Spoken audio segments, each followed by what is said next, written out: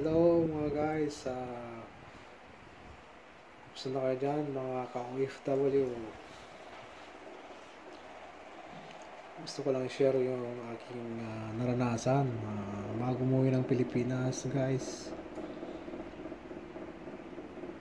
Alam kong uh, ganun din ang mangyayari sa inyo kaya prepare nyo na ang inyong mga papeles bago kayo umuwi guys Number one, Sihati, vaccine certificate. One health pass. Ayan. Kung ang flight nyo ay kinumagahan, kailangan, kailangan nyo na magpa-register ngayong gabi. O kaya umaga, pwede rin guys. Passport. Ayan. Alam ko mga guys uh, nadili na rin yung mga flights nyo dyan uh, alam na sa mga diets na mga kasama natin dyan konting lang muna mga ka-OFW yan huwag, huwag mawalan ng pag-asa kaya pag uwi nyo guys paglapag nyo pa lang sa aeroplano ito ang sasalubong sa inyo. Ayan. Prepare nyo na yung gamit nyo. One health pass. Si hati vaccine certificate. Tsaka passport. Yan guys. Dahil pang 233 ako sa uh, sa upuan ko guys. Yan matagal ang pag-aantay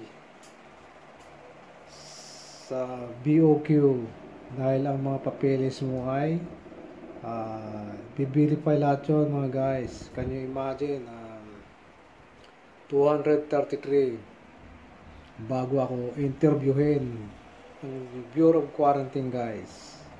Yan. Uh, paalala ko lang sa inyo at uh, uh, kung ano yung kung ano yung number ng upuan mo, ikaw ang mauuna.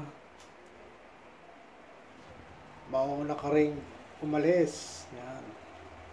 Mauna, mauna ka rin uh, mag-exit sa immigration. Yan guys. Una, uh, bago ako nakarating sa loob ng BOQ, dadaan muna kami sa number, by number na binigay ng Philippine Coast Guard. Yun nga, pang 233 ako na number. So, antayin ko yung number na yan para ma-verify ng BOQ, ng of Quarantine. Yan guys. Ganun katagal guys, sa dami namin. Dahil, uh, sampu, kada sampu tinatawag. Kaya, nandyan yung gutom, nandyan yung stress mo, yan, pagod. Kaya bago kayo umuwi guys, magdala kayo ng tinapay. Yan. Lagyan mo rin ng palaman, kuya kape. Dahil mahal ang bilihin sa airport.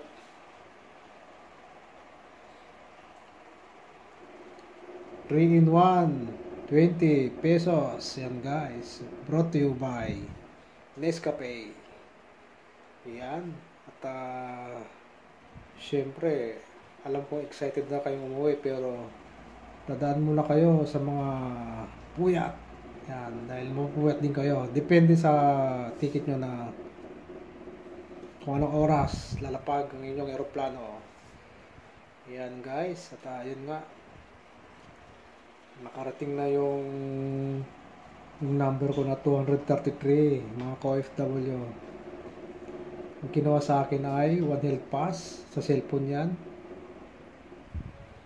picturean nila yung barcode mo. Tapos yung sihati certificate mo picturean nyo na buo. At siyempre yung passport mo kung talagang ikaw nga yun guys. Kaya mabusisi rin mga guys at uh, syempre yung konting details mo kung ilang taon ka na, gano'n, at kung saan ka uwi. Yun lang naman yung katanungan ng Bureau of Quarantine guys. Sa dami niyan, at syempre pagod din sila.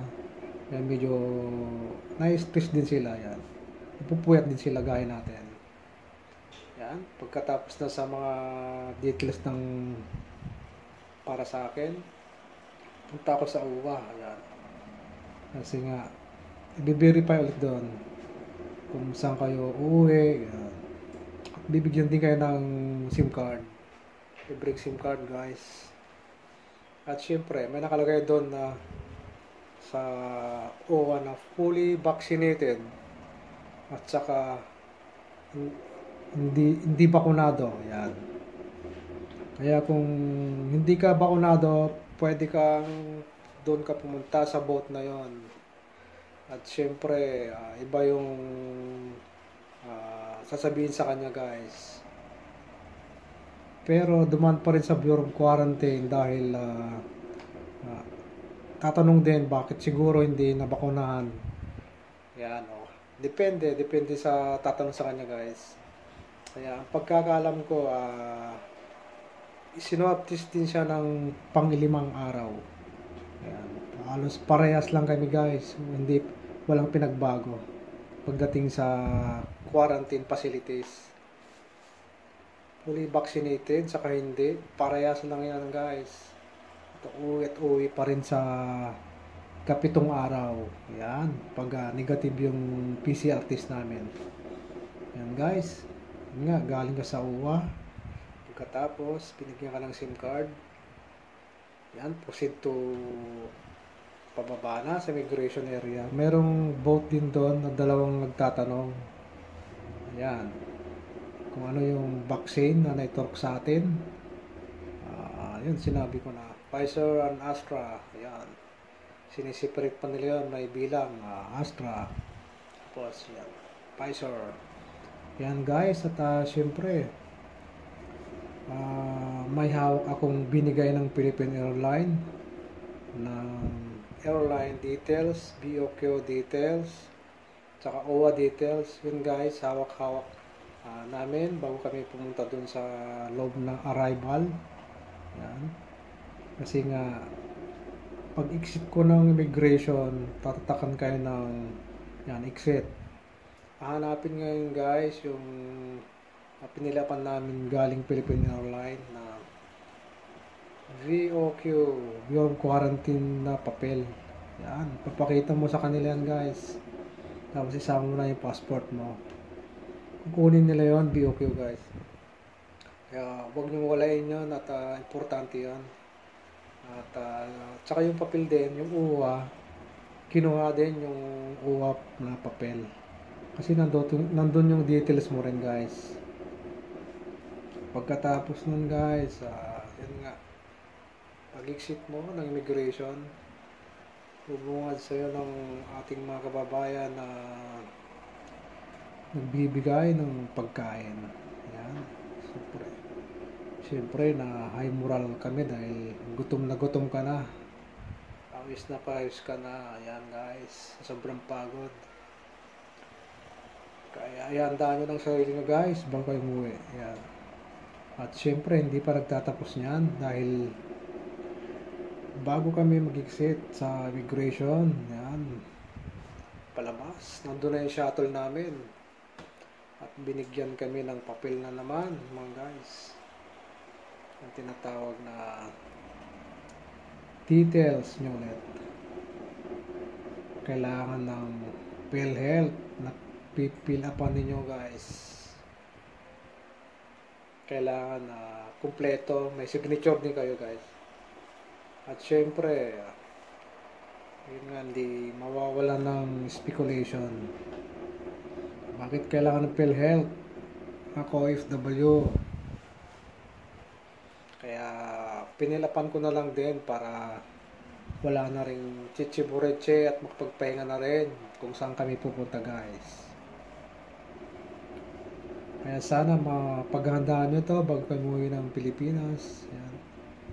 Importante yan mga guys. May pagkain kayo pa uwi. Kasi kahit gabi o kaya umaga, abutin kayo ng gutom doon. sigurado at um, meron kayong ano makakain mga guys yan at uh, syempre ah, bali pitong araw kami sa quarantine facilities. Pang 5 days naswab kami. And result ika pitong araw nalaman namin. Kaya sabay alis na rin guys. Kaya ipapakita ko tong video sa inyo bago kami umalis sa quarantine facilities. Sana magustuhan nyo guys kaya tara na guys.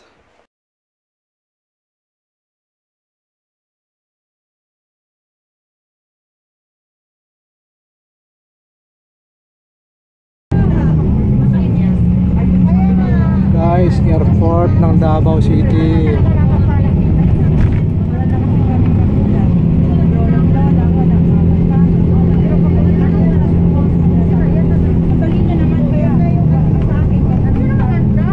ginagawa pa rin nila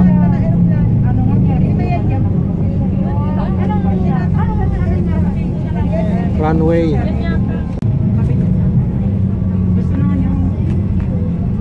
ah dito na tayo sa airport. Davao International Airport. Napakaganda. Malit nga lang. Guys ah may konting briefing lang. Tapos ah papasok na kami sa loob. Anong oras kami? I-check-in yan dami sila. Ito na mga tropa aming OFW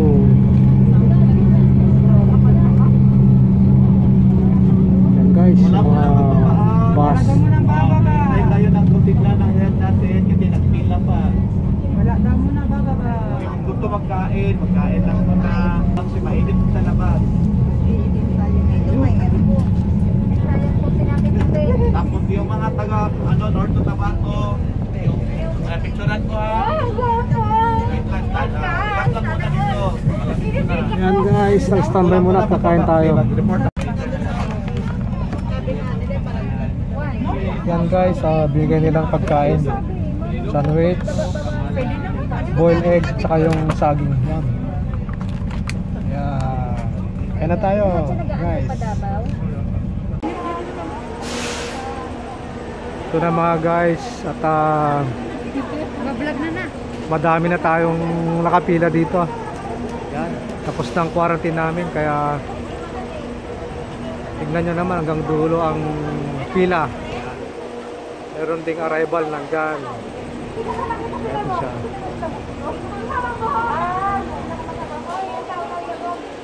Nasakay sila ng bus. Ma-arrival.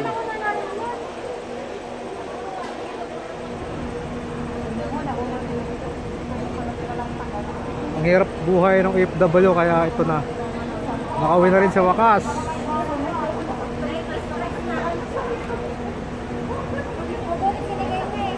pupunta Naghahanap ako ng asawa. ayun Kala ko boyfriend lang ako. Asawa agad. shout out mo na yung boyfriend mo para Shout out dyan sa walang asawa. okay yan okay yan ano mo bukod sa walang asawa ano pa yung sa shout out mo Yung mga may ka-change dyan, shout out. Shout out mo rin yung Kanor Manor ba yon Paano naman kami? Ano? si Mang Kanor. Manor na hotel yan si ate talagang um, sabik nang umuwi at wala siyang mahanap. Yan guys, uh, nandito na kami ngayon sa loob ng arrival. Mag uh, check-in na kami ng luggage. Puro Pilipino yan. Taas.